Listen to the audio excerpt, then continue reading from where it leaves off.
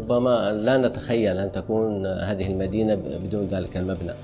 آه، فهو يعني يمثل روحها الحية النابضة التي ما زالت آه، تنبض بالحياة و ويعني كل من يأتي إلى هذه المدينة لا بد له من أن يزور هذا المكان.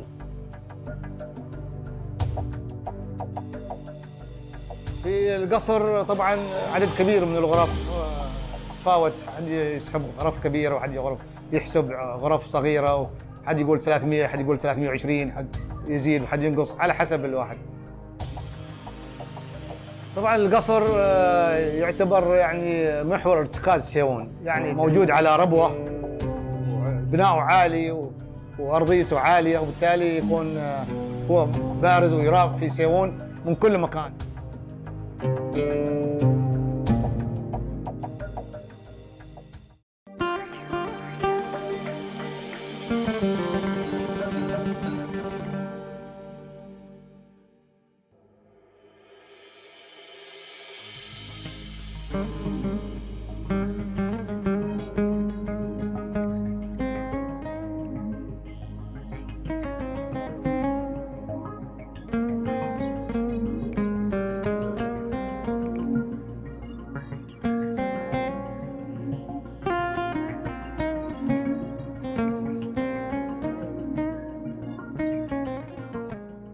قصر سيون آه، أو القصر السلطان الكثيري بسيون آه، يعتبر من أبرز أنواع العمارة آه، في العالم. هو المبنى الطيني المتناظر ذي الخصائص والمميزات الفريدة.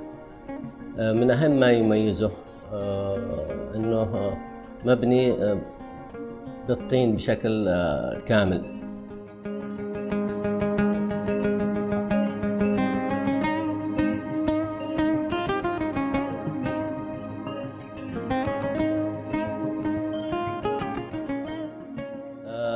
ربما آه، في القرن العاشر آه، في عهد السلطان العبد آه، أبو طويرق كان قد اتخذ يعني قد اتخذ مبنى للحكومة وفي نفس الوقت مبنى سكني للسلطان. قبل ذلك كان مبنى دفاعي وهذا النمط أو الطابع المعماري بهذا الشكل الذي تكون في زواياه آه، المعاصير أو الأبراج الأسطوانية. قد عرفته حضرموت في كثير من الحصون الموجودة والمنتشرة في وادي حضرموت من شرقه إلى غربه.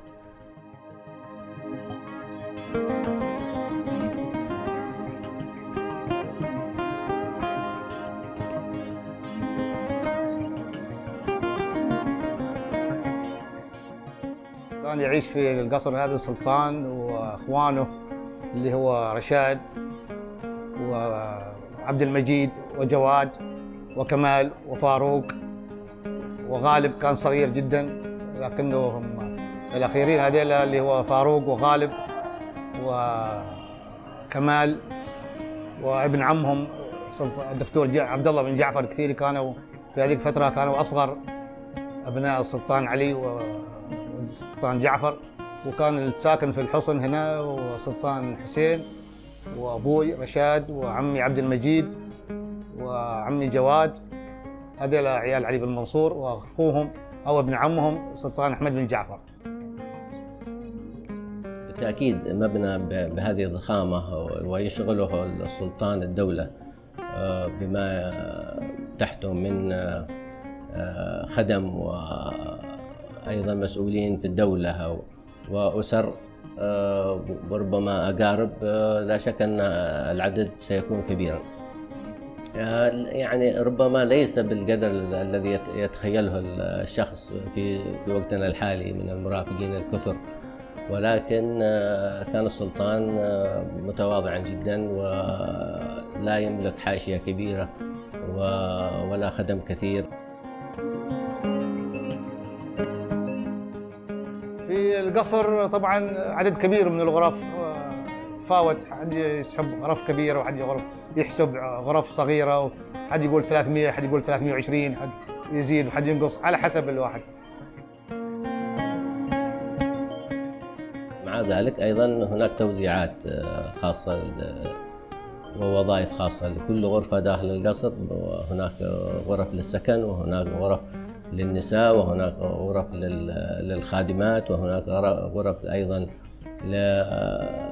لوظائف متعددة أخرى في يعني في الدولة آه، ووظائف أخرى خاصة بالديوان السلطاني. إذا نظرت للقصر من الناحية الجنوبية أو من الناحية البحرية من ناحية السوق فتلاقي أول صف اللي هو حوالي 11 نافذة عبارة عن غرفة الحكم.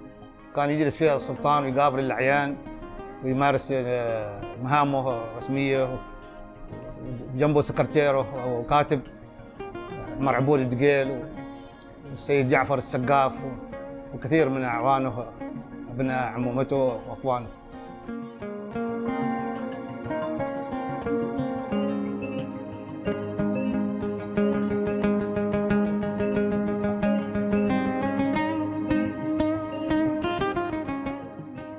الطابق الثاني سكن السلطان وابناء وبعض أبناء عمه وأخوانه في الناحية في الجهة الغربية الجنوبية غرفة السلطان وغرفه نومه مع ملحقاتها.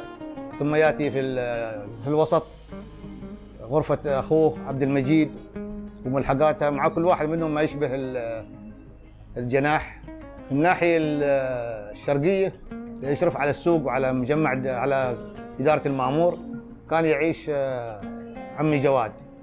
سكنوا في هذا المكان يسمونه الغلب أو الغرفة المرتفعة العلوية.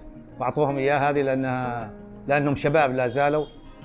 ويسكنون فيها يطلعون بحرية ويطلعون بقدرة.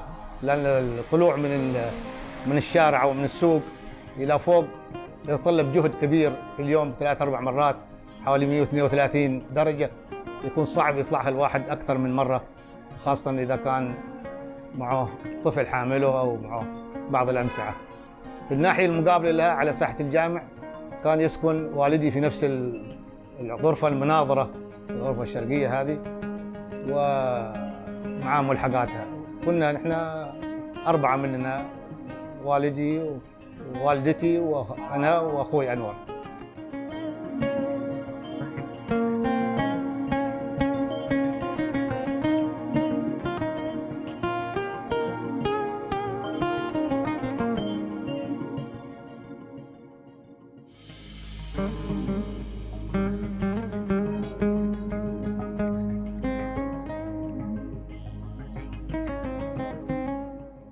هناك أيضا ملاحق أخرى مثل آه، مرابض الخيول أو الحمير الموجودة في الجهة الغربية للقصر. آه، أيضا يعني آه، الخدمات العامة منتشرة في في عموم القصر مثل الحمامات وأيضا المخازن الصغيرة وغيرها. هذه يعني توزعت بشكل جيد ومنتظم آه، وحسب الحاجة في في في تصميم القصر. آه، يعني نود الإشارة إلى القول بأنه يعني تصميم القصر أيضا لم يكن في آه، في وقت واحد بل اتخذ سنوات طويلة وأيضا على مدى عدد من السلاطين وليس سلطان واحد فهناك من من بنى ورمم يعني طبعا السلطنة الكثيرية هي بدأت ليست في سيون بدأت في منطقة بور في شرق آه، سيون منذ يعني ما قبل يعني القرن الثامن الهجري.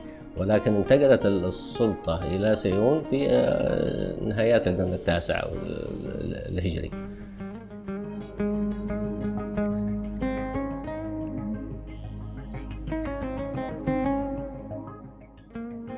المباني التي جاورت القصر.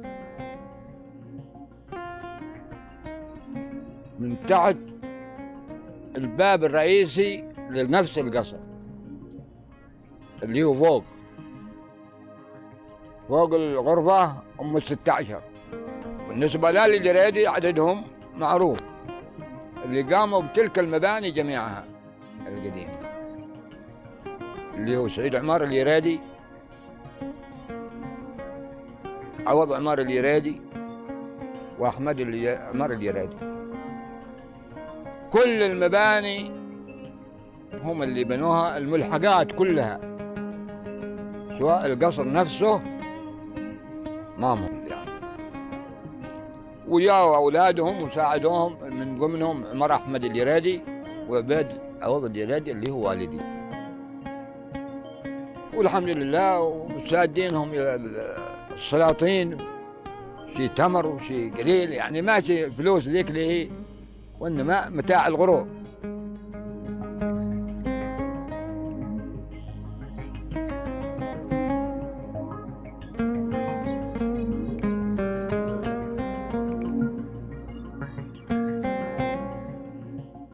هذا هو اصل قصر كملوها. هذا كثير. كملوا حصلوه تقول أول دور. وبنوه. وبنوه كملوها الجريد حقه وبس تعرف ال- آه، دولة بعد- دولة بعد دولة. كل واحد وبعدين وطردوا كانوا العسكر في ذاك الوقت. يقولوا لهم العسكر. مسكوا البلاد.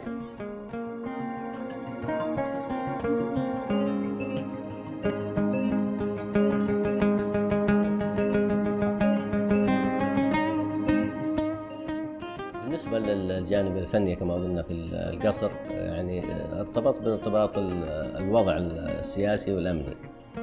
فعندما استقرت الدولة واستقر ال- الجانب الأمني في, في, عموم الوادي آه، بدأ يتجه الفنان والمعمار أيضا إلى اتخاذ آه، أو إدخال بعض الجوانب الفنية واللمسات الفنية في في عموم القصر سواء في المعمار أو في البناء نفسه. أو في الإضافات التي تظهر في المشغولات الخشبية مثل ال- النوافذ، الأبواب، الأعمدة، تيجان الأعمدة، آه، الرفوف وغيرها.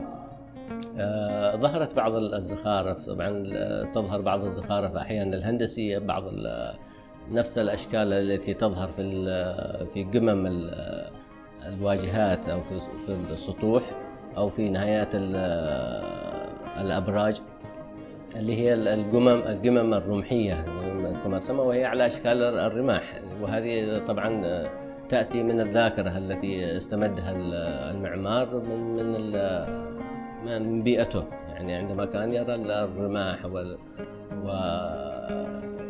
واطراف السيوف وغيرها الحادة فنقلها أيضا في جانبه المعماري.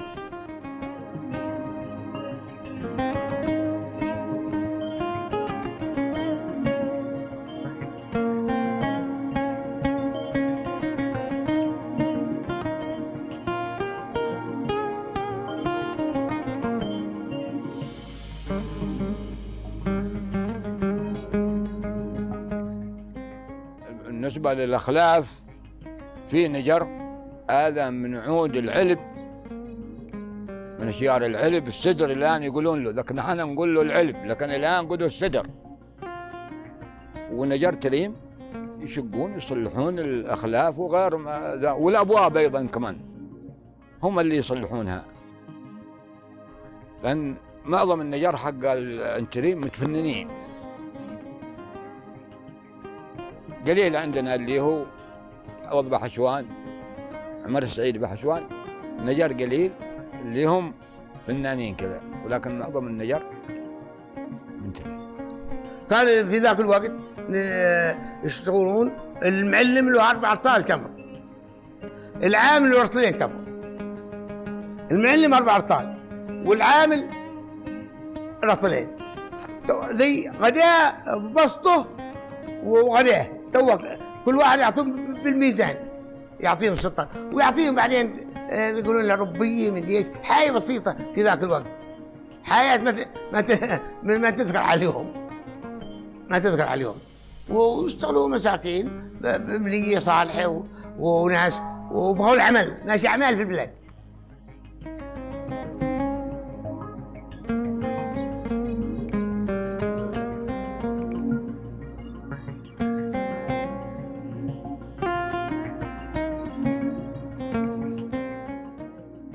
النخل اعتقل أمه في وقت الحرب العالمية. الثانية حد بمريس وحد بتمر وحد. الحمد لله. مع ناس قال صغار ما ني لين نشوفه. من أجل السلطان يعطي أربع ارطال تمر نشاركه في في في الغداء حقه هذا اللي يعطيه. لأن العامل يعطيه رطلين. والمعلم أربعة.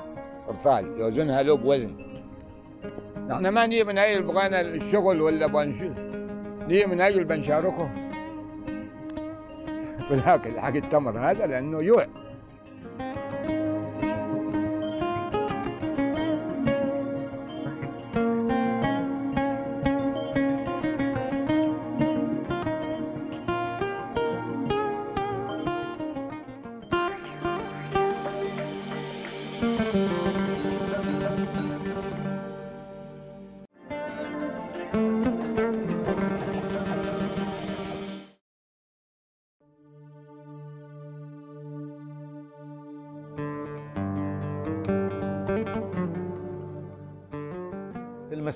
السلطان ينزل إلى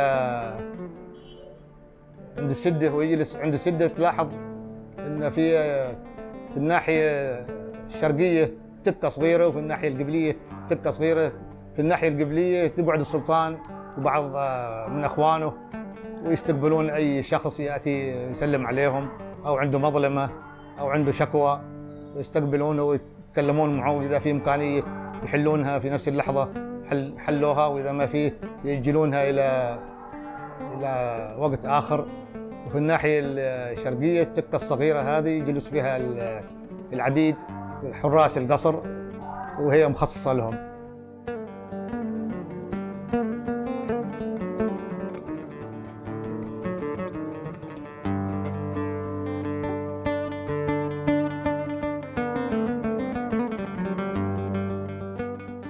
يقعد فوق التكة السلطان.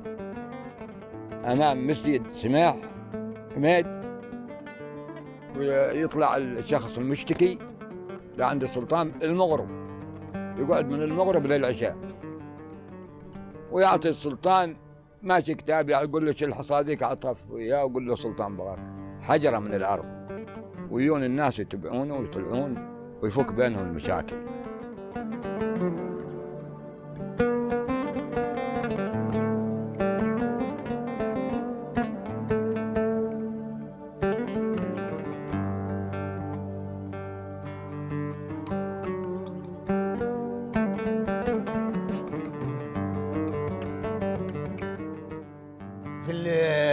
في الأعياد يجتمعون كلهم في مستعجر ويستنصعون من. يضربون على جبل من البل... من البلكونة دي ويقولون علم هناك يتنصعون في. تقول في عيد. عيد الحيه عيد رمضان يجون يجتمعون البلاد بعد ما يص- يصلون في, اليا... في الجامع صلاة الزينة يطلعون لهنا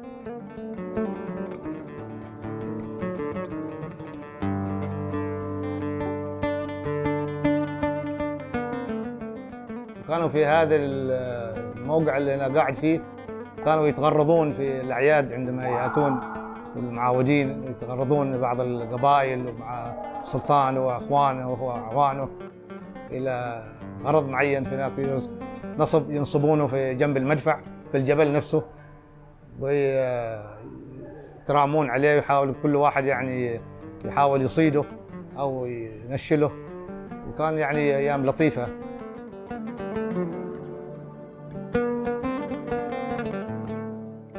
يحكي لي واحد من من القبائل آل الصقير من العرض كانوا يعني على علاقة بالسلطان وأخوانه فجاوا يطلعون إلى عند السلطان علي بن منصور جدي أبو السلطان حسين وأبوي في عهد السلطان علي وقدم لهم السلطان علي بن منصور قهوة مرة طبعا. وهو كان يطمح إن القهوة حالية فلما طعمها شوية كذا ما عجبته حصلها مرة. فسكبها وهو كان جالس جنب الخلفة سكبها جنب الخلفة كذا وطيرها.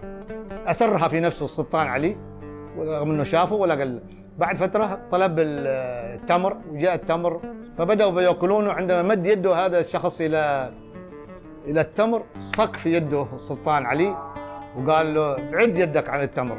الآن جيت بتأكل التمر. القهوة سكبتها ما بغيتها ودحين بتقول ما لك تمر؟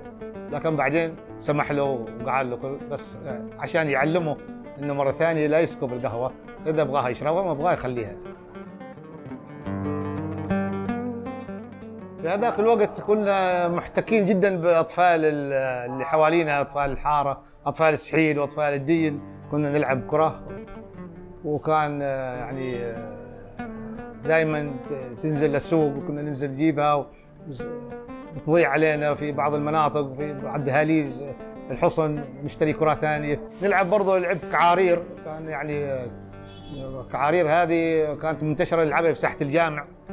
هذه الألعاب آه، عبارة عن حفرة ونلعب آه، كعارير من بعيد كذا من مسافة حوالي مترين أو متر ونص أو ثلاثة متر. نحاول نضربها عشان تجي في العين. وبعدين نضربها كذا كنا نضرب بعضها ببعض إلى أن نحرجها ونروحها بعيدة.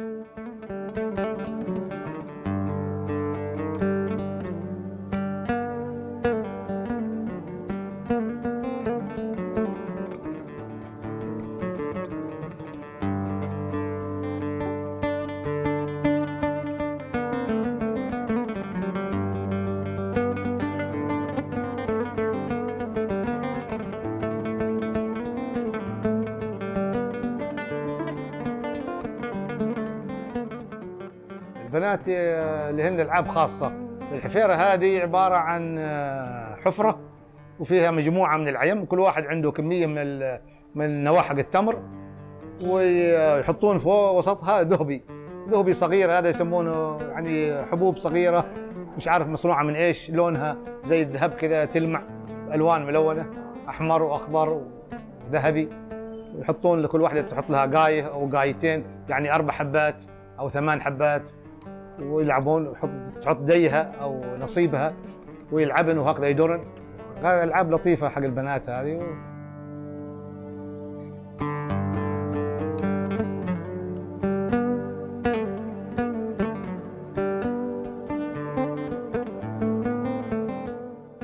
المبنى تعددت وظائفه و- واستغل في فترات كثيرة فأصبح في فترة متأخرة في من نهاية ربما من يعني من نهاية السبعينات كان هناك فيه مبنى يعني مكان للوثائق وأيضا استغلته إذاعة سيون أيضا كمكان لبث برامجها. وفيما بعد في الثمانينات في يعني عندما بدأت البعثة الروسية للتنقيب عن الآثار في حضرموت تنقب في ريبون. بدأ بدأوا بتأسيس أول نواة لمتحف سيون فيه في عام 1983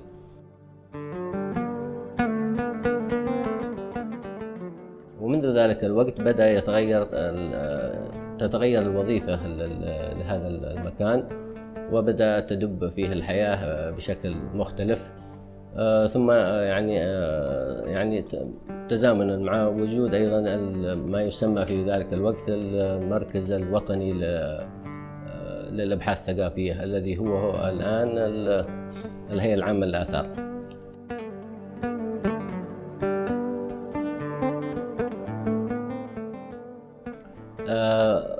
بدأ المتحف في يعني يستغل كثير من الغرف الخاصة بالمتحف ومن ضمنها الملحق الشرقي الذي يقع في في الطوابق الأولى. الطابق الأول للجهة الشرقية للقصر وهي مساحة واسعة. هي الآن حوالي ثلاث صالات للعرض التحف بحسب الفترة التاريخية. أول صالة منها يعني تعرض فيها آثار ما قبل التاريخ والعصور التاريخية لمعظمها من آثار منطقة ريبون ومناطق سونة ومشغة وباقطفة في الواقعة في شرق وادي حضرموت.